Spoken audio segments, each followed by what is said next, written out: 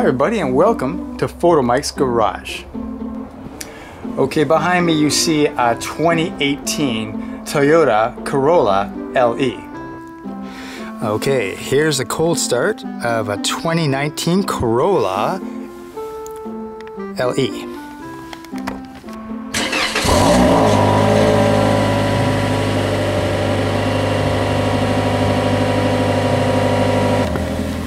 Sure ain't no Hellcat, that's for sure.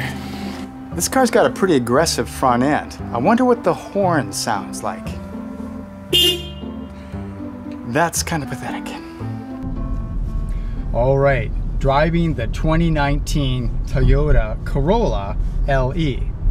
Uh, first impression is that it's it's pretty quiet, easy to drive little car. Uh, I'm not going to go into great detail. I'm just going to talk about specific things that I find interesting about this car. If you want to find all the details about a test drive on this car, you can look elsewhere. I'm just going to go over a few little things that I've noticed about this car, which might be of interest to um, the viewers. And right away, I like this car because you know it's got heated seats. It's a little economy car. You can probably get in Canada for around twenty-three to twenty-five thousand dollars, which is cheap nowadays. But it has heated seats. That's awesome. I love heated seats. No heated steering wheel. Um, I'm going to put it in sport mode and see if that makes a difference. But what I'm going to say is that one of the quirks about this car is that it has the steering wheel is offset from the seat. The steering wheel, which uh, I'll show you later, is actually to the left of where I'm sitting by about two or three inches. Now this is no problem, you get used to after a while and actually this could be a benefit. If one of your arms is longer than the other, this is a car to look into. If you have a, a longer left arm, then this car might be the car for you. Okay, so it's easy to drive. Um, it's got dead power steering.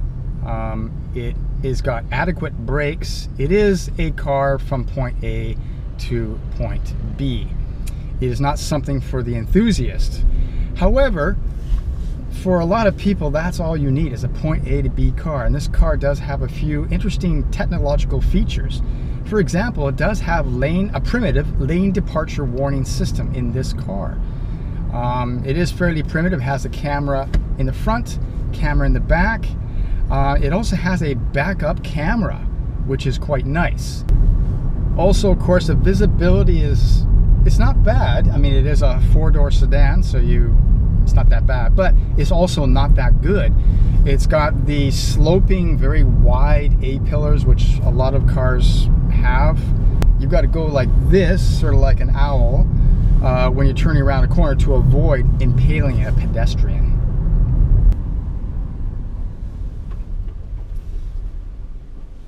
Okay, so as you can see, we have your very basic gauges here, but they're very clear.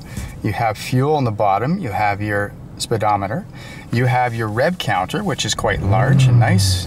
You have your coolant temperature on the bottom of that. You have a small screen in the center, and that gives you some information. Right now, it's fairly cold, 2 degrees centigrade outside, cruising range, and that's also where you get your lane departure warnings. Uh, if that's what you have on your car. You have a center screen that looks quite large, but actually it's not too big. And if you put the car into reverse, you've got a backup screen.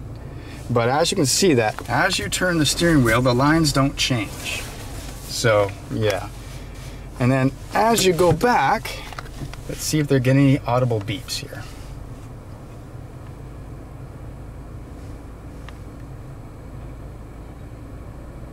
No, I'm not getting any beeping. I'm just about hit those bushes.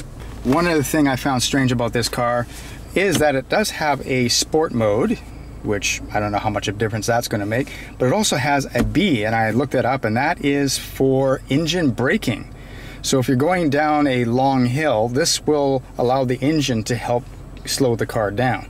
Another thing I like about this car is that these are the uh, the heating and air conditioning controls, and they have these little little lever switches, and I like how they work.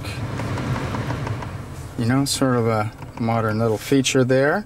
And you've got these cool little little air conditioning vents that you can move around and have fun with. Uh, you've got to love heated seats. Ever since I've had my first car with heated seats, I always want heated seats. There's nothing better than a warm set of buns. And of course for connectivity, we have a USB, we have a 12 volt right there. So it's pretty nice. You got your cup holders and that's pretty nice. They're adjustable. So you can take this out, move it to different positions to adjust it. As for the interior, there's a lot of room in the back seat. Uh, let's look at the uh, the leg room here in this small little four-door car. It's uh, actually quite impressive, and the trunk's quite large too. As for exterior styling, the side profile is definitely boring Econobox four-door. I'm afraid it's just a boring looking little car on this side. On the back, again, it's nondescript, kind of yawny oh, I like to go to sleep now type of car. But if you look at the front here, we got a little bit of aggression going on in the front here, so that's quite different, markedly different from the side and back. It's got a little bit of that Predator look, doesn't it? Yeah, aggressive for sure. And the headlights appear to be HID, which is a nice little upgrade for basically a rather cheap car. Uh, for example, you don't get aluminum wheels, you get steel wheels, disc brakes in front. And what the heck? Drum brakes in the back. How many modern cars still have drum brakes in the back? So this car is a strange mixture of a few modern features. Uh, you know, lane departure warning. There you can see the camera right up there in the center of the windshield. You have Modern features, lane departure warning, heated seats, quite nice. And then a few of these old school things like drum brakes in the rear. Yeah, it's a strange little car. But how fast is a Corolla? Let's find out. And let's, uh, let's give a few revs for the enthusiasts.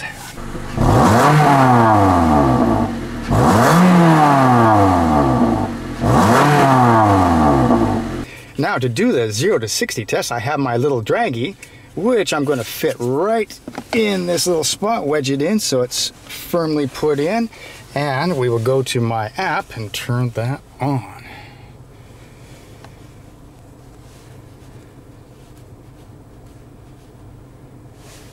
Doggy.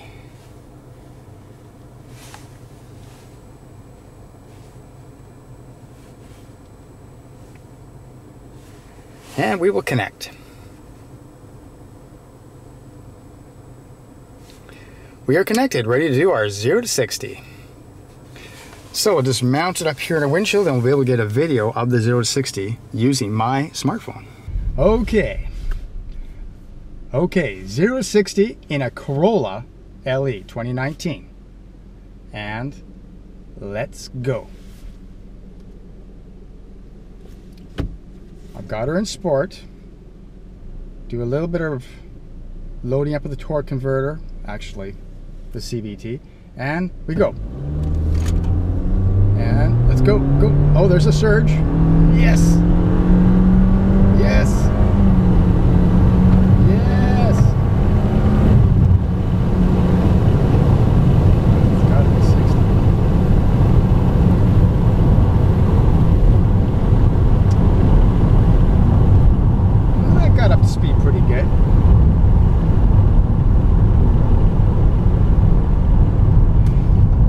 off slow, but then it starts to build up some speed.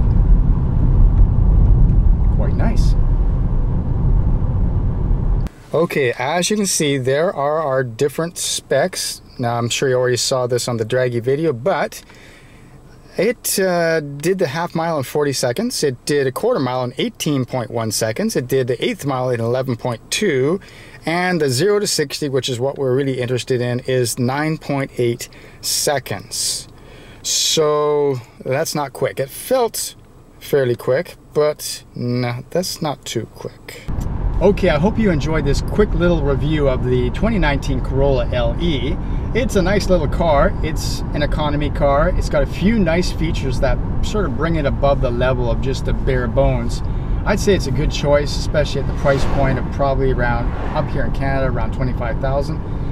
It is not fast, as I proved. It has a feeling that it's not too slow, but it actually it's not that fast. The best thing about this car is it's got heated seats. My is warm. Thanks for watching Photo Mike's Garage. I will see you next time.